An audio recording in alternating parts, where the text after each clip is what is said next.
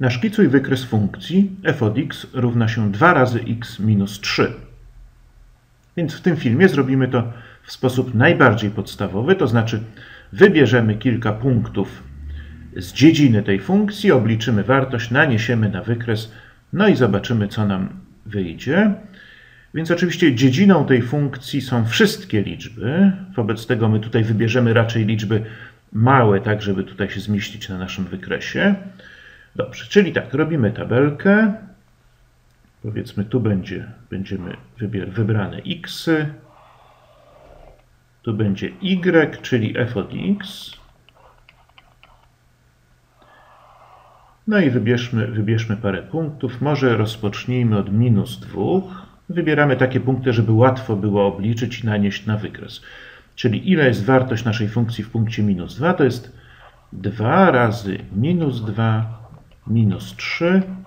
Zatem to jest minus 4 minus 3, czyli minus 7. Nanieśmy teraz ten punkt. Minus 2x to odpowiada tutaj i minus 7 to będzie ten punkt tutaj. Tak? Czyli to jest nasz punkt, pierwszy punkt na naszym wykresie. Minus 2, minus 7. No dobrze, teraz może minus 1. I znowuż wartość funkcji to jest 2 razy minus 1 minus 3.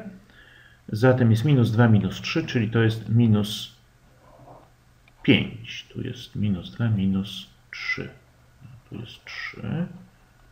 Minus 5, czyli minus 1 minus 5 to będzie tutaj. Tak? Minus 1 minus 5 to będzie tutaj punkt. Dobrze, teraz 0. No i co? I wartość funkcji w zerze to jest 2 razy 0 minus 3, czyli to jest minus 3. Czyli w zerze jest minus 3, czyli to jest ten punkt tutaj.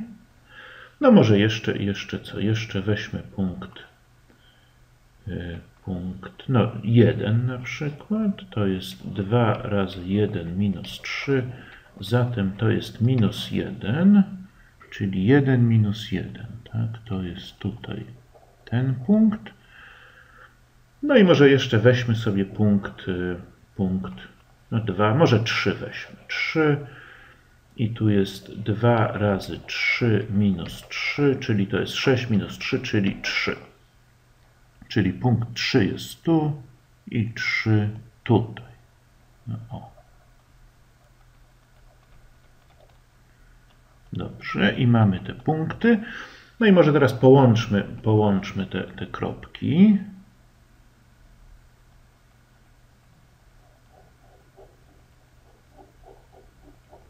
No więc...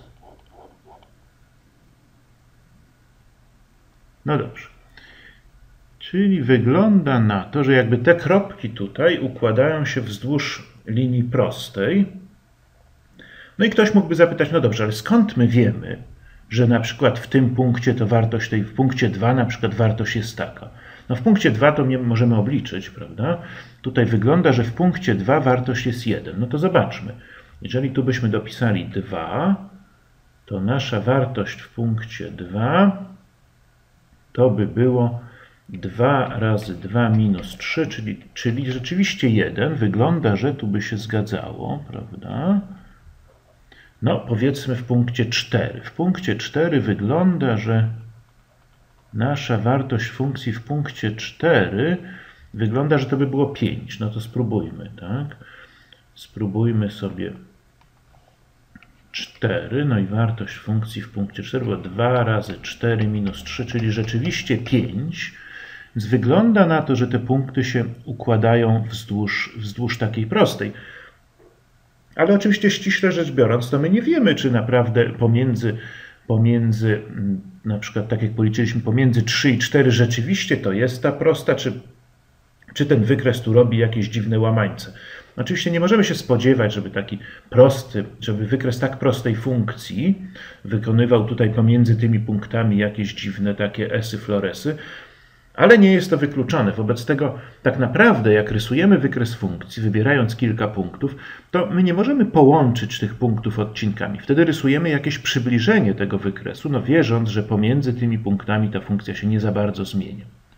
Ale naprawdę, żeby wiedzieć, żeby tak porysować, narysować, po prostu pociągnąć tę linię pomiędzy tymi punktami, to my musimy jakby zawczasu wiedzieć, czym będzie wykres tej funkcji.